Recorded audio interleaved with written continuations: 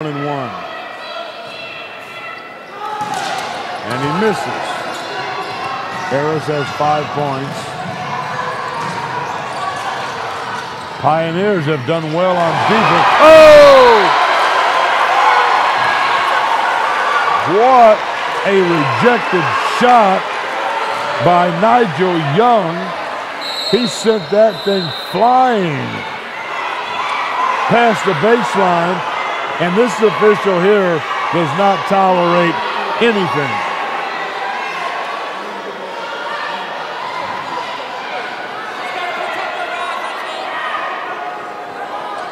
The official came over and warned uh, Coach Harrelson's bench